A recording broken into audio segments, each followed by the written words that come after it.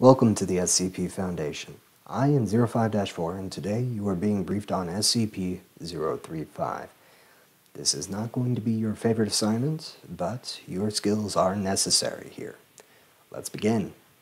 Item number SCP-035 Object Class Keter Special Containment Procedures SCP-035 is to be kept within a hermetically sealed glass case, no fewer than 10 centimeters, 4 inches, thick this case is to be contained within a steel, iron, and lead shielded room at all times.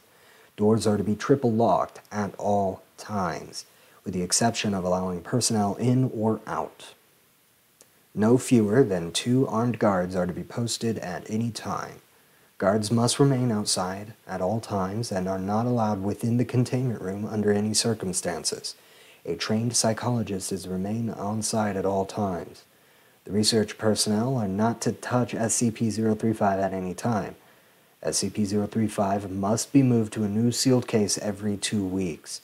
The previous case must be disposed of via SCP-101 as it shows no adverse reaction to SCP-035's corruption.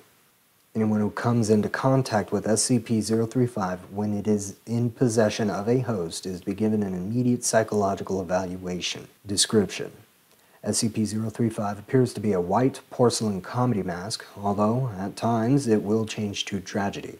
In these events, all existing visual records, such as photographs, video footage, even illustrations of SCP-035 automatically change to reflect its new appearance.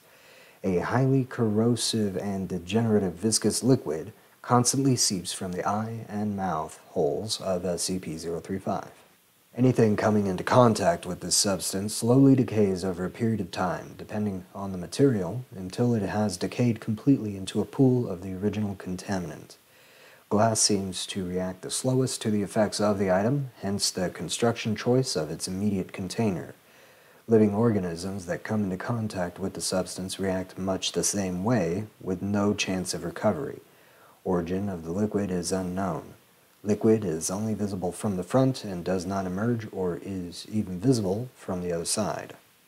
Subjects within 1.5 to 2 meters, or 5 to 6 feet, of SCP-035 or in visual contact with it experience a strong urge to put it on. When SCP-035 is placed on the face of an individual, an alternate brainwave pattern from SCP-035 overlaps that of the original host, effectively snuffing it out and causing brain death to the subject. Subject then claims to be the consciousness contained within SCP-035. The bodies of possessed subjects decay at a highly accelerated rate, eventually becoming little more than mummified corpses.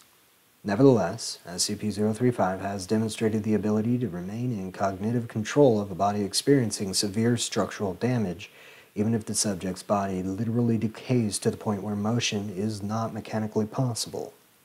No effect is found to be had when placed on the face of an animal. Conversations with SCP-035 have proven to be informative. Researchers have learned various details about other SCP objects and history in general, as SCP-035 claims to have been at many momentous events. SCP-035 displays a highly intelligent and charismatic personality being both amiable and flattering to all those who speak with it. SCP-035 has scored in the 99th percentile on all intelligence and aptitude tests administered to it, and appears to have a photographic memory. However, psychological analysis has discovered SCP-035 to possess a highly manipulative nature, capable of forcing sudden and profound changes to interviewers' psychological state. SCP-035 has proven to be highly sadistic, prompting some to commit suicide and transforming others into near-mindless servants with linguistic persuasion alone. SCP-035 has stated that it has intimate knowledge of the workings of the human mind and implied that it could change anyone's views if given enough time. Additional, SCP-035 was found in a sealed crypt in an abandoned house in Venice in 18 redacted. Addendum 035 TAC 01 SCP-035 has been found to be able to possess anything that has a humanoid shape, including mannequins, corpses, and statues. SCP-035 has been able to motivate all into movement, removing the need to expose live subjects to SCP-035. Still, anything it possesses inevitably decays into motionlessness. Addendum 035-Tac 02, SCP-035 has facilitated an escape attempt, convincing several of the research staff to aid in its bid for freedom. Insurrection failed. All staff that have been in contact with SCP-035 have been terminated, and mandatory psychiatric evaluations have been implemented for all personnel coming in contact with SCP-035. Addendum 035-03 It has been determined that SCP-035 is capable of telepathy, whether or not it possesses a host, even penetrating to the subconscious of others and using the knowledge it finds to its advantage.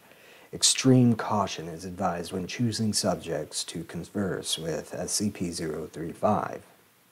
Addendum 035 Tag 04 SCP-035 has expressed an interest in other SCPs, most notably SCP-4715 and SCP-682. Dr. Redacted has expressed worry that should SCP-035 bond with either their regenerative qualities would negate its corruption and give it a permanent host.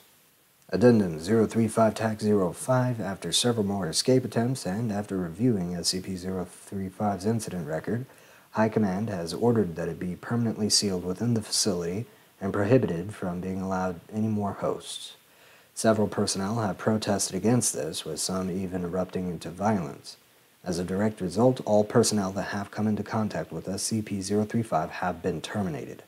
Going forward, all personnel that deal with SCP-035 are to be rotated frequently, and contact is to be limited even to its dormant state to as little as possible.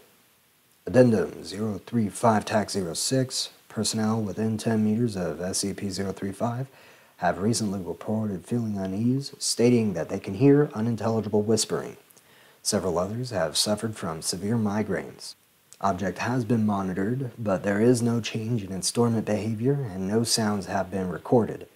The motion to reinstate SCP-035's host privileges has been brought up once more, if only on a temporary basis, to discover these new changes in the object's behavior.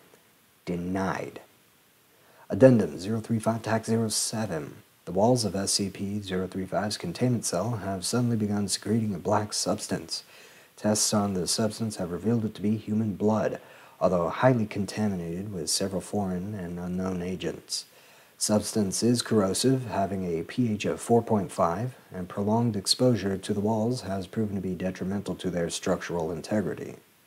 More notably, it seems to be forming patterns on the walls. Several segments seem to be paragraphs in various languages, including Italian, Latin, Greek, and Sanskrit. Translation is pending.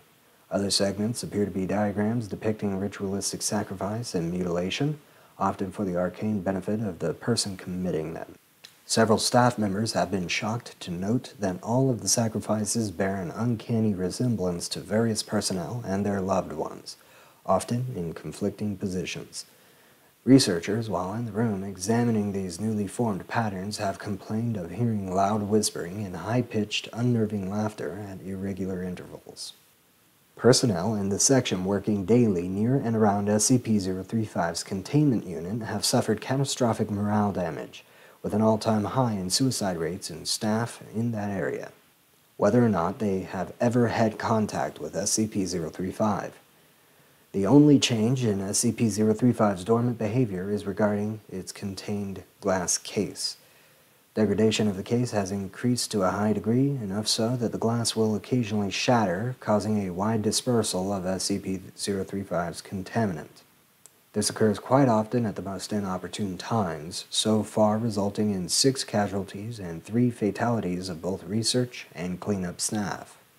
Addendum 035 TAC 08 in light of the mass suicide slash homicide of the members of the research team tasked with translating the passages garnered from SCP-035's containment cell, the morale damaged in the area, and the general loss of staff dealing with SCP-035 to either death or insanity, it has been decided to coat the inner and outer walls of its containment cell with SCP-148.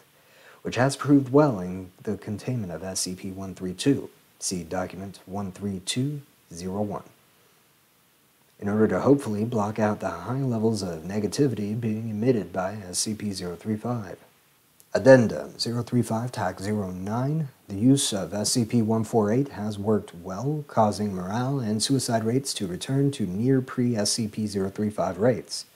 However, the material appears to facilitate the negativity within the cell, causing a veritable greenhouse effect inside. Personnel inside the cell has stated that they feel a heavy sense of dread, fear, anger, and general depression, as well as hearing constant, nearly inaudible whispering upon immediate entry. A prolonged stay causes severe migraines, suicidal tendencies, heavy hemorrhaging of blood vessels around the eyes and inside the mouth and nose, general hostility to others, and for the whispering to increase to almost deafening volumes, intersected by a constant mocking laughter. Exposure of more than three hours inevitably results in the subject falling into a deep psychosis and attempting to harm either themselves or others. Most speak in Latin or Greek, despite the fact that several did not previously know how to speak said languages beforehand.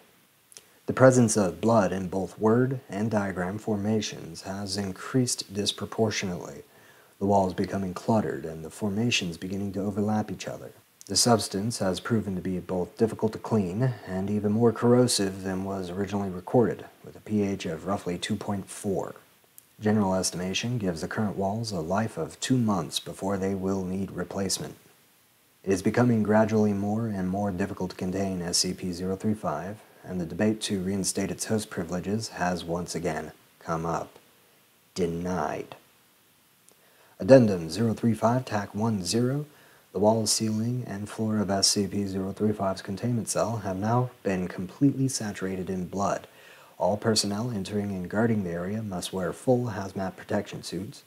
Constant cleaning efforts are being instated. Addendum 035 TAC 11 The magnitude, intensity, and recurrence of the phenomena that occur within SCP-035's containment cell have increased to an alarming degree. The cell door has been known to become locked of its own accord while personnel are inside and unable to be opened for a period of time.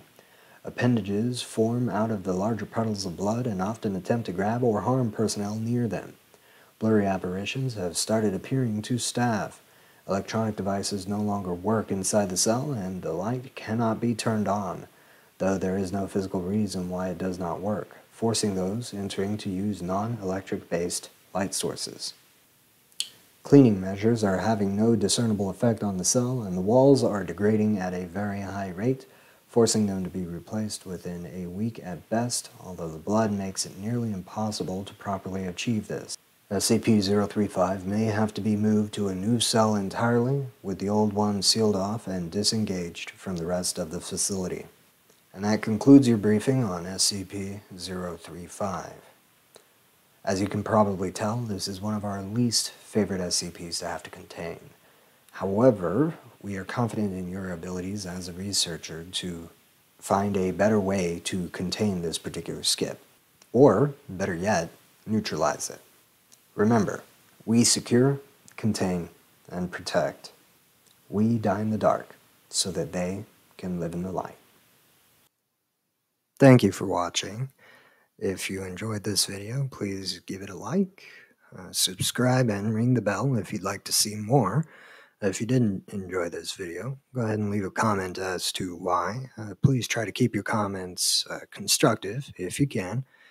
And, well, thank you so much. Have a good rest of your whatever.